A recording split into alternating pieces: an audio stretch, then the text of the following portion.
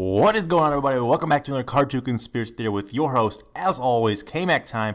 Today we're going to do a theory on one of my all-time favorite shows growing up. I know I say it a lot, but this really was.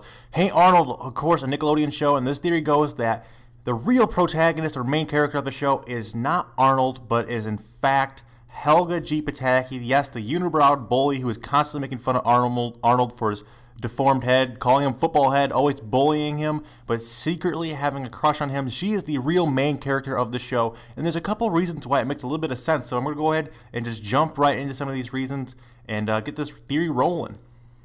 Our first piece of evidence is in the theme song for the actual show itself. Now, if you've ever seen the theme song, theme song, excuse me, you know that the whole thing is based around Helga saying Arnold Arnold. And then at the end, she, she says, Hey Arnold. So even though the show may be called Hey Arnold, she's the one actually saying it, and she's the one who's actually, you know, in love with him and stuff. Another thing to point out is she's the only character who gets monologues. She has all, and in every episode, it seems like she has these deep monologues where she's talking to herself. Um, you know, her whole uh, view about Arnold, her secret plot about loving him, or there's a secret shrine she's always, you know, talking about. And two, she has a whole huge different side thing that no other character in the show has. Not even Arnold. Arnold never has any monologues. Um, he's always talking to somebody. He's always talking to Gerald, his grandma, you know, other friends, his grandpa.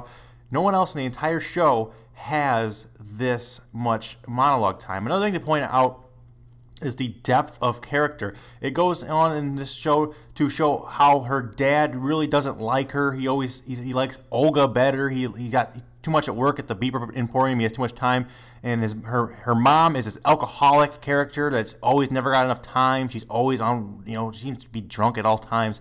All kinds of crazy stuff. And that's there. basically what the show is about. Ultimately, Helga's obsession with the strange-headed boy Arnold, and how she finds meaning in her otherwise bleak life through him uh, hence the title. She finds, um, you know, this great, you know, sense of being through Arnold. Hence why she's always, you know, pestering him. She doesn't know how to put her feelings into words, so she picks on him. A lot of girls do this at a young age.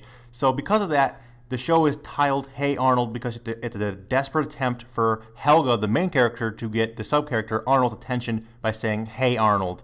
And that's basically what it all boils down to, guys. Helga's the main character. Arnold and the rest of the gang are just sub characters, and the more interesting plot is about Helga and her depth of her life. And there's actually a, a really cool thing about this is there was actually supposed to be a spin-off show called The Patakis, but it was last minute canceled. Very cool stuff. Maybe I'll make a video about that sometime. But that's all time we have for, for this video, guys. I hope you guys enjoyed. If you guys could leave a like on this video, it would be very much appreciated. As always, we hit the 500 likes on this video. I'll drop out next week's theory a day early for you guys.